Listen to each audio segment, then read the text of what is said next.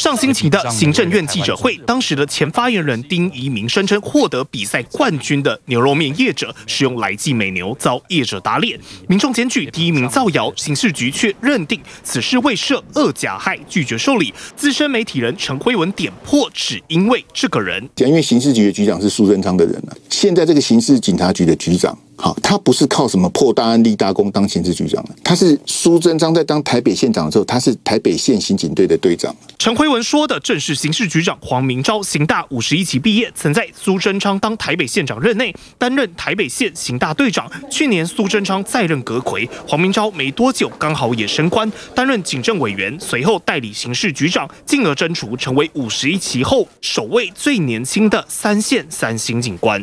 啊，就是刑事局已经基本上是垮了。第一名讲的是不是算假消息，不是由你警察来认定的。你警察根本不是侦查主体，你只是负责受理报案的，你凭什么不办呢？那刑事局忘了我是谁啊？啊，你看，哎。跟苏贞昌有关，OK 啊，这个这个实在是不行哦。陈辉文认为刑事局揣摩上意，有违背司法侦查之嫌。看在社会记者出身的资深媒体人谢寒冰眼里，根本是公然吃案。刑事局这样的一个做法，基本上就是吃案。假设刑事局这种案子，全国瞩目的案子，你都可以用这种理由搪塞，然后直接不受理的话，那实际上地方警局更可以用各种方式告诉你说啊，这个东西客观上不成立犯罪。对于在野党与舆论质疑，刑事局表示没有任何。回应，但倘若司法体系得看颜色办案，难道唯有绿色是能被原谅的颜色？这样笑，张轩台报道。